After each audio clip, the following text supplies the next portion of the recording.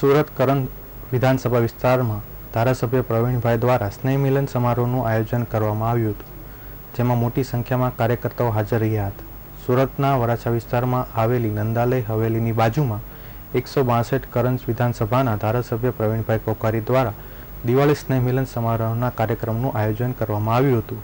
તેમાં ભારતીય જનતા પાર્ટીના કેન્દ્રીય રાજ્યમંત્રી તેમજ રેલવે તથા કાપડ મંત્રી દર્શનાબેન જરદોશ, નિરંજનભાઈ ઝાંઝમેરા અને ભારતીય જનતા પાર્ટીના કોર્પોરેટરો અને મોટી સંખ્યામાં કાર્યકર્તાઓ ઉમટી પડ્યા હતા.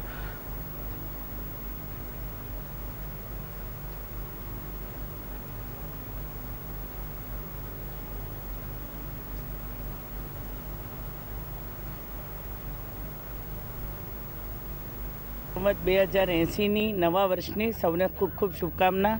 આજરોજ એકસો બાસઠ કરંજ વિધાનસભા ખાતે ભારતીય જનતા પાર્ટીના કાર્યકર્તાઓ, જે દેવતુલ્ય છે, એ કાર્યકર્તાઓ સાથે એક સ્નેહ મિલનનો કાર્યક્રમ રાખવામાં આવ્યો છે. ખાસ કરીને વર્ષોની આ પેટર્ન રહી છે. કે આખા વર્ષ દરમિયાન કાર્યકર્તાઓ પ્રજાની વચ્ચે હોય છે અને પ્રજાની સાથે રહીને સુખ દુઃખના સાથી બનતા હોય છે. એવા સમયે નવા વર્ષની અંદર માન્ય પ્રધાનમંત્રી શ્રી નરેન્દ્રભાઈ મોદીજીના નેતૃત્વમાં નવા સંકલ્પ સાથે, નવા જોમ સાથે નવા વર્ષની શરૂઆત અમે સૌ કરતા હોય છે.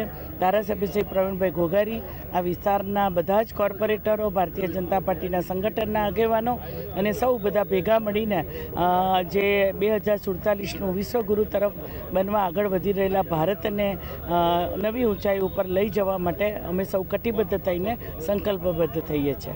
વિક્રમ સંવત બે